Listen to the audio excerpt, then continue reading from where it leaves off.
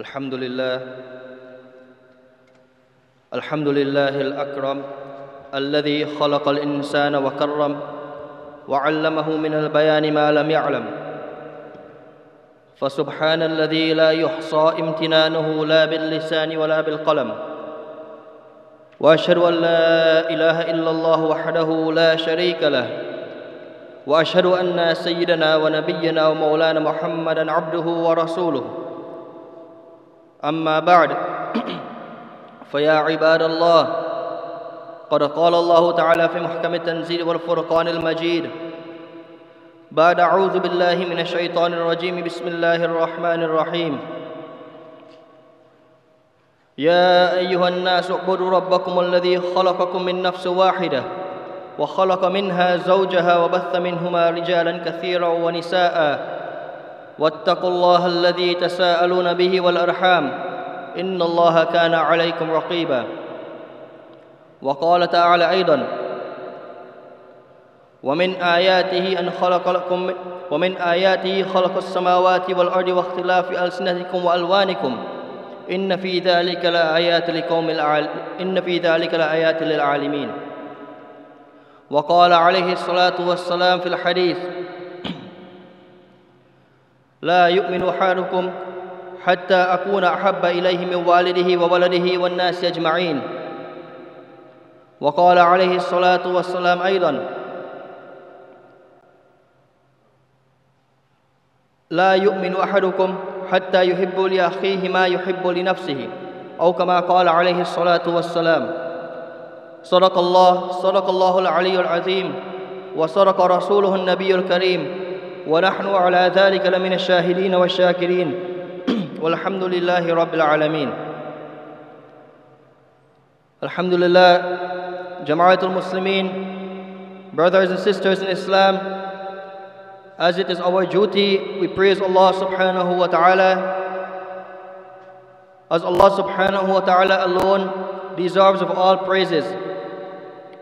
And secondly, we send darood and salam on our Prophet Muhammad Mustafa sallallahu alayhi wa sallam, his household, his companions, and all believing men and women who follow them until the end of time.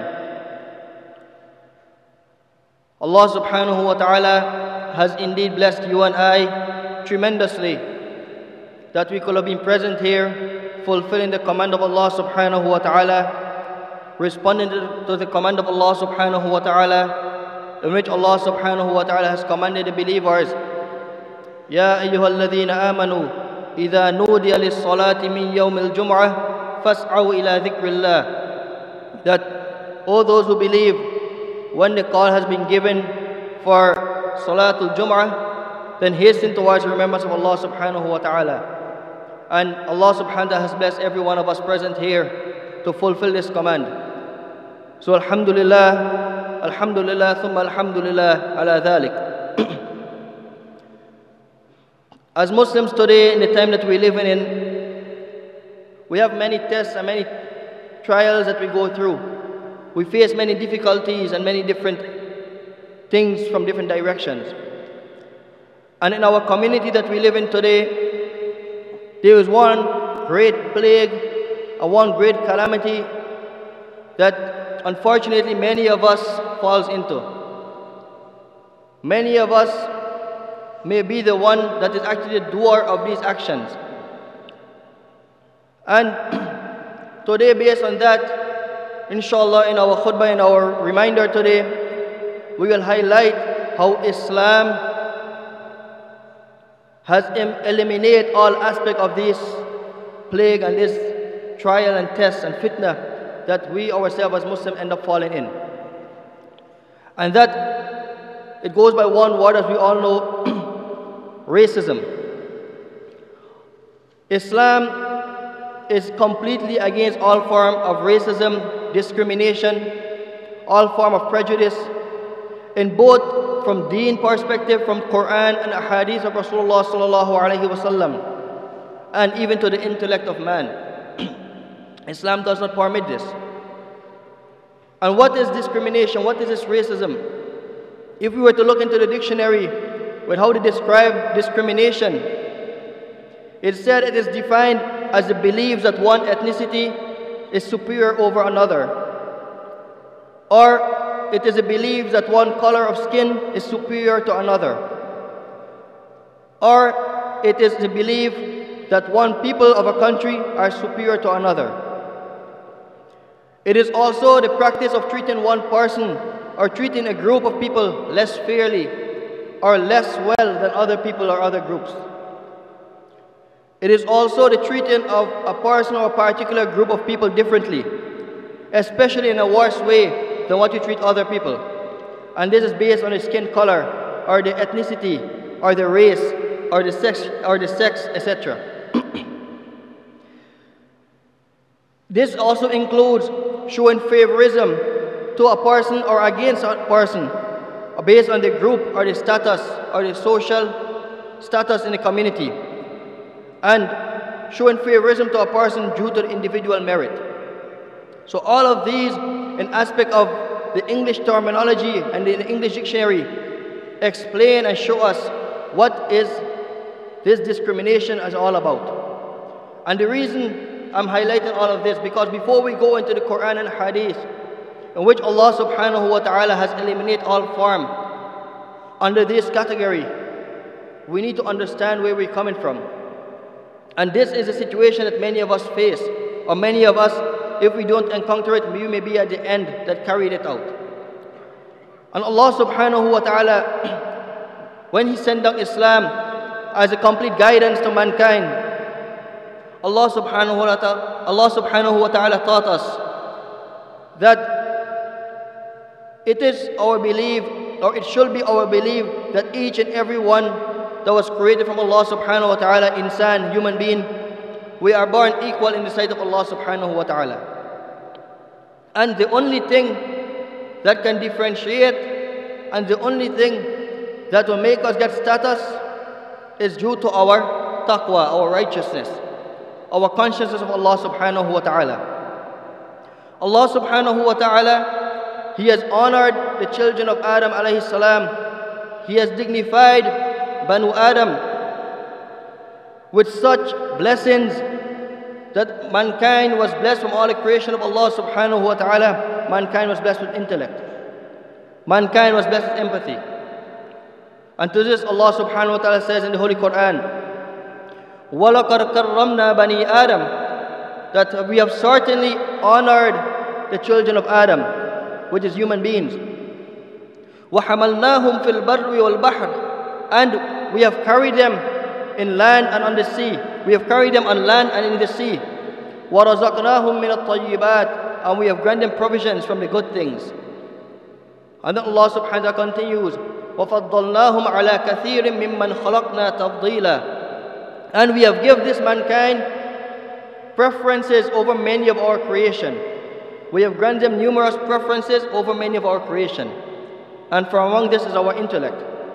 For among this is our characteristic of differentiating between right and wrong.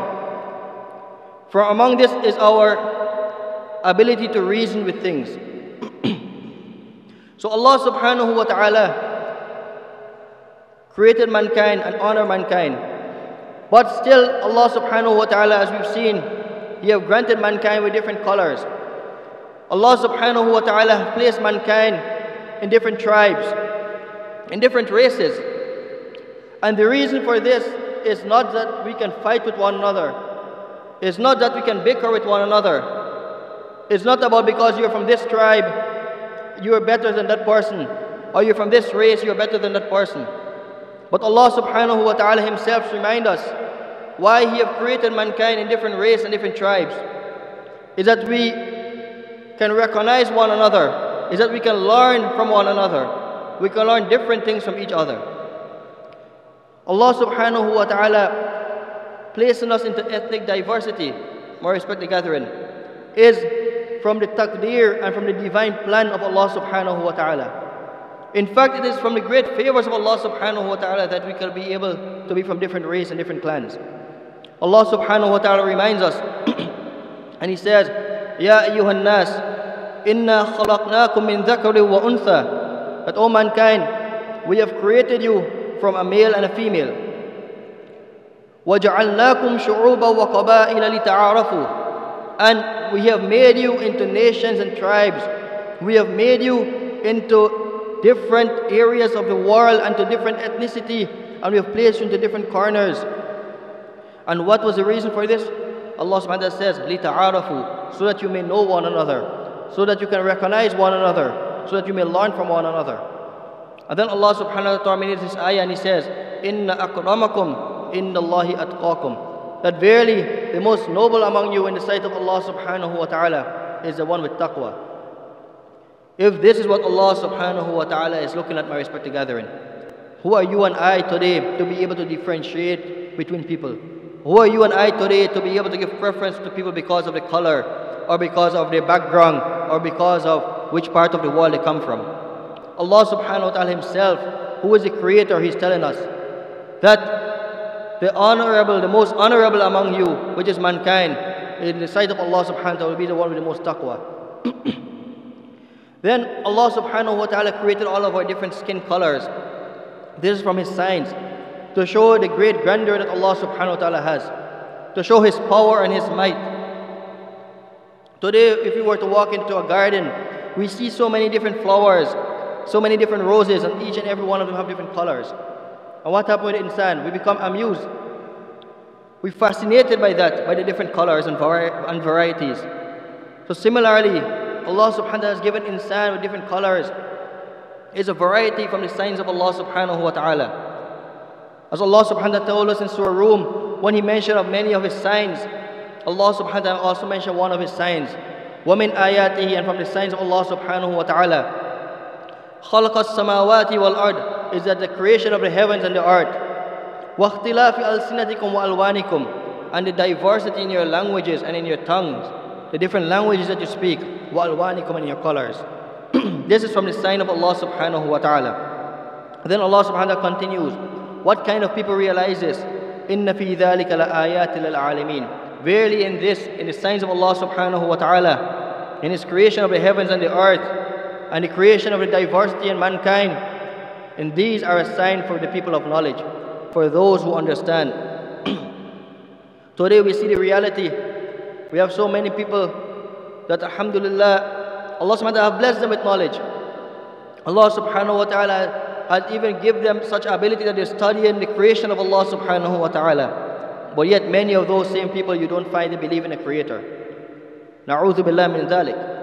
That Allah subhanahu wa ta'ala bless them with knowledge. Allah subhanahu wa ta'ala bless them with that ilm in whatever field they are, but yet seeing the greatness of Allah subhanahu wa ta'ala they fail to believe. So that is why Allah subhanahu wa ta'ala is telling us His signs is there, but not everyone has that understanding. Not everyone is able to differentiate and to recognize the signs of Allah subhanahu wa ta'ala. and the hadith of Rasulullah sallallahu alayhi wasallam further emphasizes from the signs of Allah subhanahu wa ta'ala to show us why mankind are given different colors from among the wisdom of Allah subhanahu wa ta'ala. Abu Musa al-Ash'ari radiallahu anhu he narrated that Rasulullah sallallahu alayhi wa sallam said, إن الله تعالى خلق آدم من قبضة قبضها من جميع الأرض. That Allah subhanahu wa ta'ala have created Adam alayhi salam from a handful of earth that he took from the different parts of the world, which means from the entire world. And فجاء بنو آدم على قدر الأرض. And because of this, mankind have come forth on the different accordance to the different type of earth, according to the different clays and the different lands. فجاء منهم الأحمر والأبيض والأسود وبين ذلك. So due to that, some mankind came forth with red skin, or white skin, or black skin, or between all of those, the mixed skin, the mixed color. And due to that also, that is why you have mankind, some of them are khabis, some of them are tayyib, that is why you find mankind, some of them to be impure, some of them to be pure, some of them to be evil, or some of them to be to be good. So Allah subhanahu wa ta'ala, from His infinite wisdom, utilizing play the earth, that we have so many varieties of sand, we have so many varieties of the earth in front of us, of the land. Allah subhanahu wa ta'ala similarly created mankind from that, have given us varieties. In the recent, in the recent conclusion of our Sirah, of our series, we have talked about on Tuesday night we talk about Hajjatul Wida, Rasulullah sallallahu alayhi wasallam's farewell khutbah.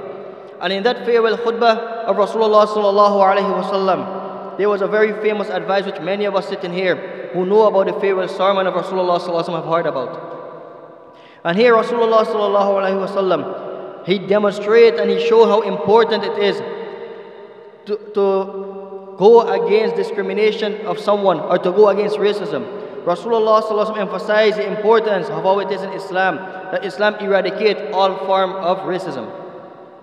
The hadith Rasulullah when he was advising the Sahabas, Rasulullah said, Allah inna rabbukum wahid. That behold, listen up, your Rabb is one. Wa Allah inna abakum wahid.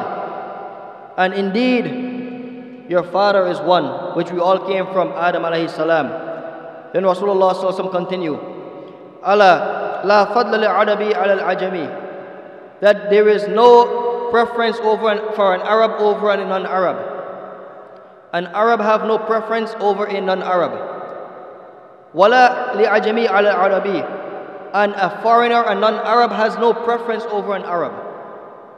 Wala ahmar ala aswad and a red-skinned person have no preference over a black-skinned person. Wala aswad ala ahmar. And neither a black-skinned person have any preference over a, red-skinned person. Illa bit taqwa. And Rasulullah continues, terminating that the only preference insan can have over another is due to his taqwa, is due to his piety. There was a very famous incident that took place among the Sahaba of Rasulullah sallallahu alaihi wasallam with Hazrat Abu Zar radiallahu anhu and Hazrat Bilal radiallahu anhu. For those of, know, those of you who have heard of known Hazrat Bilal radiallahu anhu, the Muazzin of the Prophet sallallahu alaihi wasallam, and he was from an Abyssinia background, who were more of the darker skinned. And Abu Zar radiallahu anhu was from the Arab. And due to some incident that happened, Abu Zar radiallahu anhu became upset. And he had just Hazrat Bilal radiallahu anhu with a derogatory term. And he said, Ya Ibn Sauda, that O son of a black person. So Hazrat Bilal radiallahu anhu, he went and he complained to Rasulullah sallallahu alayhi wasallam. And when Abu Zar radiallahu came to Rasulullah sallallahu alayhi wasallam, he was unaware that the complaint went to Rasulullah sallallahu alayhi wasallam. And mind you, at that time, the Sahabas anhu they were still learning as Islam was progressing. All of this knowledge was not there at their disposal at that time. Because as things started to happen and they were living, that's when Rasulullah was given wahi. And that's when different adab and etiquettes came about in their life. That's how Islam became a way of life. So when Abu Zar he went to Rasulullah wasallam, Rasulullah turned away from him. And he found it to be strange. So he asked Rasulullah sallallahu alaihi wasallam, Ya Rasulullah, it seems that some news have reached you which I have no idea about. That what happened?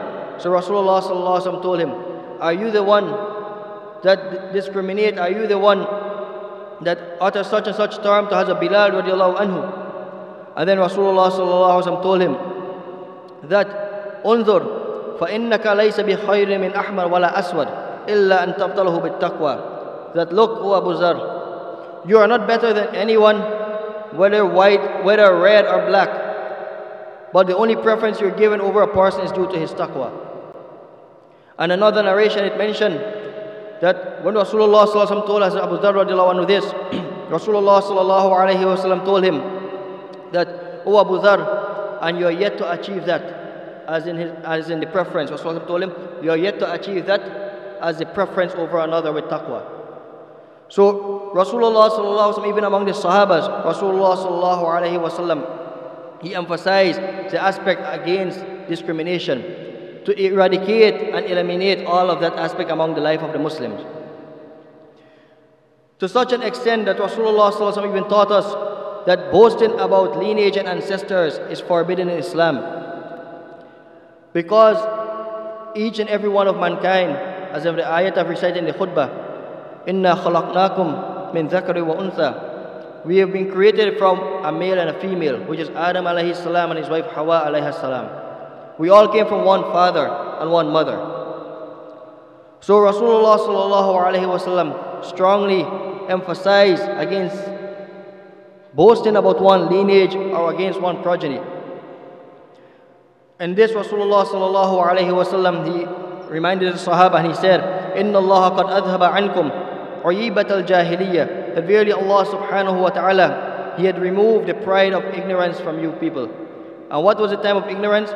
It was with boasting about one's ancestors or boasting about one's family and a tribe. Then Rasulullah continued, إِنَّمَا هُوَ مُؤْمِنٌ تَقِيٌّ وَفَاجِرٌ شَقِيٌّ A person, he is either going to be a righteous believer or he is going to be a miserable sinner. A person is either a righteous believer or a miserable sinner.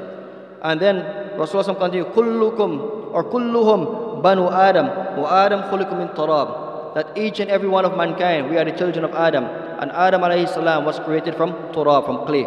So there is no preference. There is no, there is no advantage because of someone's tribe. There is no status given because of a person's tribe. So, to another narration, Rasulullah sallallahu alayhi he emphasized and he told us man battahu bi amalihi lam yusri lahu nasabuhu. Aw man batta bihi amaluhu lam yusri bihi nasabuhu. Aw kama qala that Rasulullah sallallahu alaihi wasallam said that a person who is slow in doing his good deeds that good deeds will not be fulfilled because of his nasab because of his lineage. A person who hesitates in doing a good deed he will not get any preference in his good deed because of his generation or because of his ancestors everyone will have according to what they earn Lahum ma kasabat walakum ma kasabtum. Allah subhanahu wa ta'ala told us, for them will be what they have earned, what they have acquired from their a'mal, from the good deeds, and for you will be what you earned. So Rasulullah is telling us, not because you're in a good ancestor or you have a good family tree, that that is why you can relax with your good deeds. But your good deeds depend on your action, and that will what will be recorded in your book of deeds. then Rasulullah further emphasized this aspect to show the complete eradication. He told the Sahaba radiallahu anhum, ليس منا من دعا إلى عصبية وليس منا من قاتل على عصبية وليس منا من مات على عصبية that he is not from among us who calls people towards tribalism who calls people towards believing and there being the preference Rasulullah further continued he is not from among us which means he is not a Muslim he is not from the follower of Rasulullah sallallahu alaihi wasallam that person who fights on behalf of tribalism, who fight for the, for the sake of his clan, who fight for the sake of his people.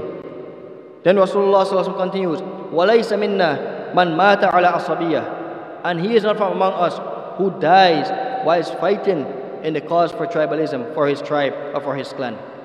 Because the only way a person shall call towards and the only thing a person shall fight to shall fight for is for the deen of Allah subhanahu wa ta'ala.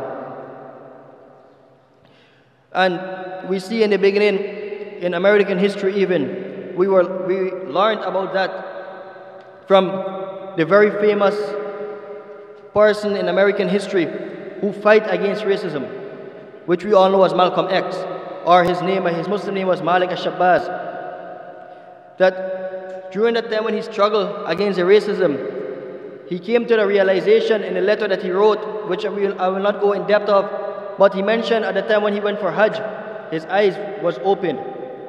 That he said that the people, because of the struggle they were having at that time in America in the mid 20th century, he said that America will come to realize if only they were to follow the Islamic religion, this religion of Islam, then they will come to realize how there is no aspect of racism. Or they will come to realize the beauty that everyone lived together as one. That he mentioned his time when he stayed in Mecca he were eating and drinking from the same container and the same utensils as people back in his home, which was in America. People were considered to be white. He said he even sat with people in the same majlis, in the same gathering, whose eyes was bluer than blue, whose skin was whiter than white. They were at the pinnacle of considered to be white, and yet he said we were all treated as one. He felt no different, and he said the reason for this because everyone were worshiping that one Allah. Everyone focus was worshipping Allah subhanahu wa ta'ala alone. That they did not see any preference over themselves to another person. And that is the beauty of the pilgrimage of Hajj. For those of you who was blessed to go for Umrah, or those of you who was blessed to go for Hajj, you will have seen, and from among the wisdom, when a person wear ihram, it doesn't matter whether you're a king, whether you're a king or you're a slave, you all wear the same ihram. You all dress in the same attire, and you all respond to one call. When the Imam say Allahu Akbar, you all will respond towards that. That is the beauty of Islam, that it shows there is no preference of anyone over the other. And with this, I would like to close with one famous poet that had mentioned our statement to show us how it's not about our progeny, it's not about ancestors and our lineage. That they say, the poet, the poet mentioned, لَعَمْرُكَ مَا الْإِنسَانُ إِلَّا بِدِينِهِ فَلَا تَتْرُكِ التَّقْوَى اتِّكَالٌ عَلى النَّسَبِ فقد رفع الإسلام سلمان فارسي وقد وضع الشرك النسيب أبا لهب He says that by your life, the poet is taking an oath, he said, by your life, mankind will only be judged based on his deen and his religion. So do not leave, do not abandon your taqwa and your piety with the hope to rely on your nasab, on your lineage. And then he continues, he said, Islam has certainly raised the status of Hazrat Salman al-Farsi radiallahu anhu, who was from the Persian Empire. He had no connection with the Arabs. And because of his Islam, where his progeny was even unknown to the Arabs, Allah subhanahu wa ta'ala elevated his status. And then on the other hand, the poet continues, and because of shirk, shirk have downgraded and dishonored the person by the name of Abu Lahab. We all know Abu Lahab. Shirk has dishonored him even though he was from a high lineage. So it shows that it doesn't matter where you come from. But if our worship is only for Allah subhanahu wa ta'ala, if our taqwa is sincerely and our taqwa is with our Allah subhanahu wa ta'ala, we're only conscious of Allah subhanahu wa ta'ala, then all of this hatred for one another, all of this hatred against our own fellow Muslim because they're from a different place will come out from our life. So I pray and beg Allah subhanahu wa ta'ala that He help us that we can implement this message and He can also help us that we can share this message to every Muslim that Islam, we as Muslims, we can come back and show the true humanity of Islam. And even among our Muslims, with this plague is found among us, this plague of racism is found among us, or where this discrimination exists, we, the only way for us to eradicate this and the only way for us to take this away is when we come to the complete understanding of the tawheed of Allah subhanahu wa ta'ala, of the oneness of Allah subhanahu wa ta'ala, and the correct understanding of the deen of Allah subhanahu wa ta'ala, which was shown to us by Rasulullah sallallahu alayhi wa. I pray and beg Allah subhanahu wa ta'ala that He give us all the understanding. May Allah subhanahu wa ta'ala make it easy for us that we can practice and we can eradicate this plague from our life. May Allah subhanahu wa ta'ala grant all the sick person cure. May Allah subhanahu wa ta'ala grant all the marhum and our deceased person maghfirah and grant them eternal success in Jannah. May Allah subhanahu wa ta'ala bless us all who are here and bless our progeny and our offspring that we can all be from those who have the taqwa of Allah subhanahu wa ta'ala. أقول قولي هذا وأستغفر الله لي ولكم ولسائر المسلمين فاستغفروه إنه هو الغفور الرحيم.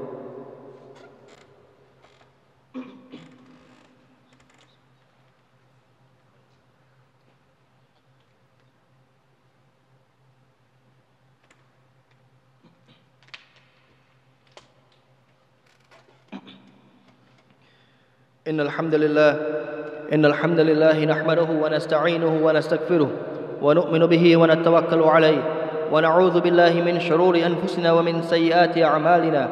من يهده الله فلا مضل له ومن يضلله فلا هادي له. ونشهد أن لا إله إلا الله وحده لا شريك له. ونشهد أن سيدنا ونبينا ومولانا محمدا عبده ورسوله. أرسله الله بالهدى ودين الحق. ليظهره على الدين كله ولو كره الكافرون. أما بعد فيا عباد الله قد أمر الله تعالى في محكم التنزيل آمرا ومخبرا إليكم أيها المؤمنون فقال تعالى إن الله وملائكته يصلون على النبي يا أيها الذين آمنوا صلوا عليه وسلموا تسليما. وقال عليه الصلاة والسلام في الحديث من صلى علي واحدة صلى الله بها عشرة. اللهم صل على محمد وعلى آل محمد كما صليت على إبراهيم وعلى آل إبراهيم إنك حميد مجيد. اللهم بارك على محمد وعلى آل محمد كما باركت على إبراهيم وعلى آل إبراهيم إنك حميد مجيد. وقال عليه الصلاة والسلام أرحم أمتي بأمتي أبو بكر وأشدهم في أمر الله عمر وأصدقهم حياء عثمان وأقضاهم علي وفاطمة سيدة النساء أهل الجنة والحسن والحسين سيدا شباب أهل الجنة. وحمزة أسد الله وأسد رسوله. اللهم اغفر للعباس وولده مغفرة ظاهرة وباطنة لا تغادر ذنبا. رضوان الله تعالى عليهم أجمعين. وعن كل صحابة الباقين ومن تبعهم بإحسان إلى يوم الدين. اللهم ربنا آتنا في الدنيا حسنة وفي الآخرة حسنة وقنا عذاب النار. اللهم ربنا فاغفر لنا ذنوبنا وكفر عنا سيئاتنا وتوفنا مع الأبرار. اللهم أخرج اليهود والنصارى من قلوب المسلمين وأخرج الأقصى من يد الكافرين.